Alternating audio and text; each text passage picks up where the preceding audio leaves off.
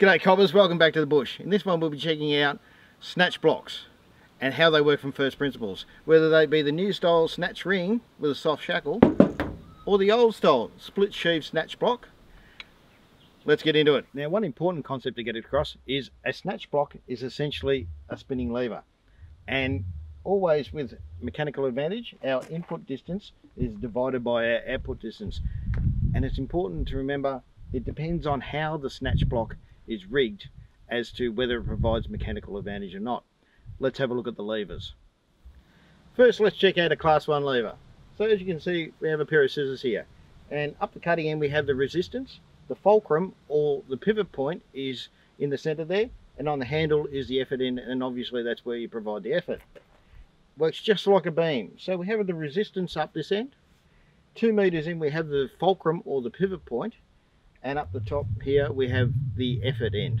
So if we put 10 kilograms of the resistance and 10 kilograms on the effort, because there's two meters apart from each other, we'll be in equilibrium because mechanical advantage equals your input distance divided by your output distance and 2 divided by 2 of course is 1. It works just like a snatch block. So on a snatch block we have resistance of let's say 10 kilograms and our anchor point leads down to our fulcrum point here and our effort end is 10 kilograms. So in this circumstance the snatch block will be in equilibrium and we don't have any mechanical advantage. Okay now let's have a chat about class 2 levers as you can see in our wonderful diagram of wheelbarrow here we have the effort up one end where you put your hands on the handle. Our load is right in the middle there or our resistance and our fulcrum is our pivot point and that's in the center of the wheel there. It relates back to our beam just as in the class 1 lever. But this time we have the effort up on the left hand side, our resistance 2 meters in in the middle, and our fulcrum on that beam will be our pivot point right on the right hand side there. Always our mechanical advantage is our input distance divided by our output distance. And our input distance in this case is from our effort to our fulcrum.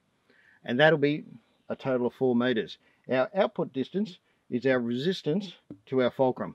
That's a total of 2 meters. 4 divided by 2, of course, is 2. So that provides a mechanical advantage of 2. If we relate that back to our snatch block, we have our fulcrum or pivot point here. It's moved over to the right hand side. Our resistance is in the middle there.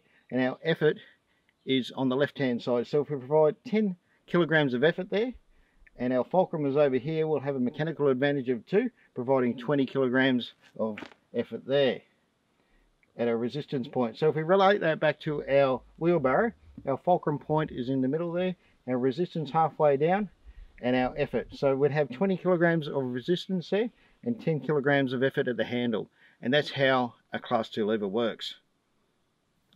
Now, it might be a bit of an effort to remember how all the levers work in the field. So there are three general rules that will work for you.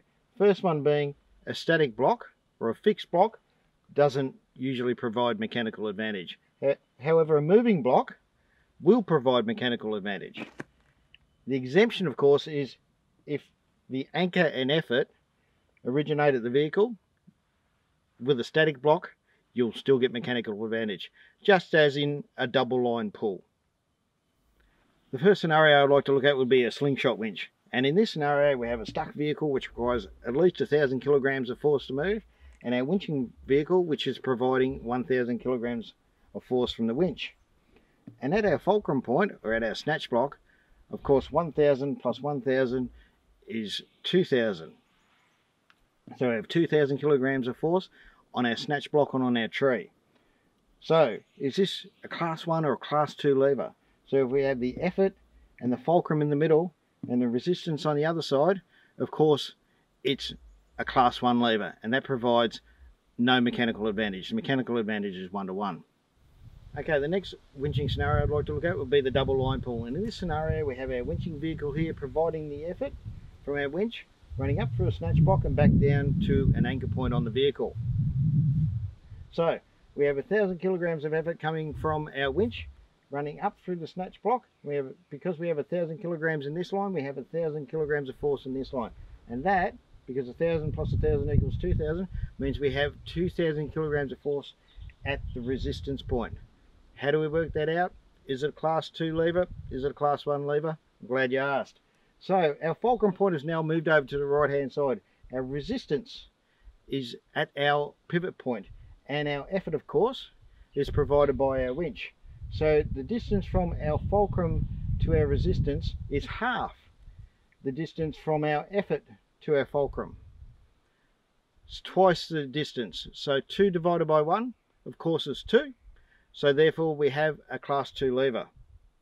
The final scenario I'd like to look at will be backwards winching. So in this scenario we have our vehicle here with a forward mounted winch. It's running up through a static snatch block there, back down through to a static snatch block here, and then running up through to a, a, snatch block mounted in a rear recovery point here, and back to that tree there. So where does the magic happen? I'm glad you asked. Okay, so if you refer to our previous sections, you'll see this is, is a static snatch block and is providing a mechanical advantage of one. So nothing magic happening there, it's only a redirection.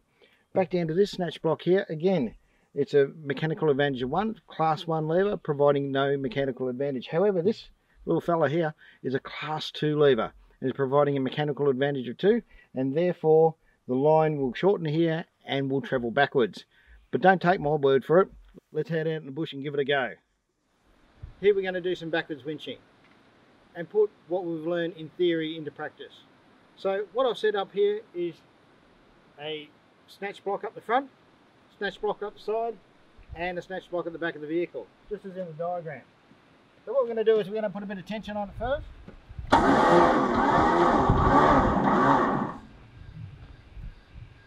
then we're going to check our rigging. Make sure it runs through nice and cleanly. As you can see we've shortened up the extension winch rope here. We'll show you how to do that if anyone's interested in a later video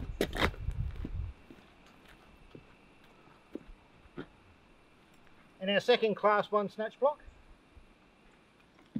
running to our class 2 snatch block and that's the one where all the magic will happen let's give it a go and see if it works okay now we've checked the tension in the lines and made sure they're all running through the snatch blocks cleanly checked all the rigging.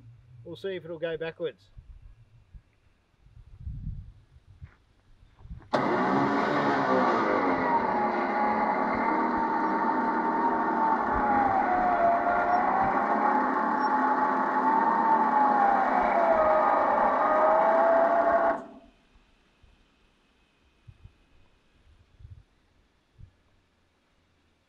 And that's it. Theory into practice. As simple as that. So if you enjoy this video, don't forget to rate, comment and subscribe. Now if you didn't like the video, don't forget to give me a thumbs down. Twice. Thanks, I'll see you in the next one.